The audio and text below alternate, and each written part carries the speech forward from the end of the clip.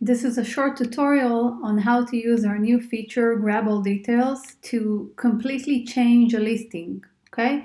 When will you want to change a listing? When you have a listing that sold in the past and stopped selling, or a listing that has a lot of watchers and followers, but for some reason is not selling for a while, or maybe a seasonal product like Halloween.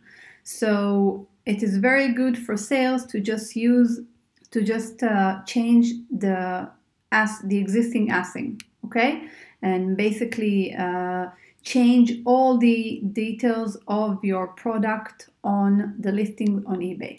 How do you do that? You let's say we want to change this product here, okay? Assuming we're after Christmas, for example. So I go here and then I go to full item edit. Now let's just find something from Amazon that I would like to change to. Um, hmm. Let's take something, this toaster. Okay, here's the ASIN of this toaster. I go back to AutoDS. As you can see, this is the current title of this of this listing and you can see the category and the price okay, and the images and the template.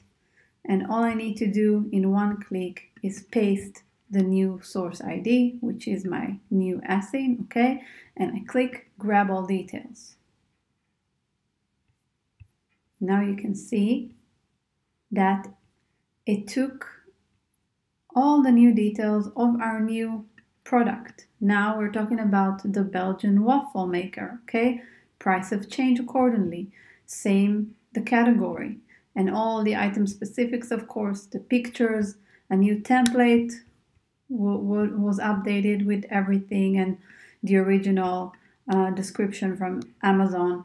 And that's it. It saves you time. It makes you uh, more profitable because you're um, using a listing that is already selling or sold. Okay, it has a bit more exposure than just a brand new one with no history. Here it saves the history of the listings, the number of sales, the number of uh, watchers, and the number of views. You click Save Changes, and that's it. You're done. Enjoy this feature. Please sub subscribe to our YouTube channel to hear more updates and new features coming. And you can join also our Facebook group. Everything will be, all the links will be down below on this video.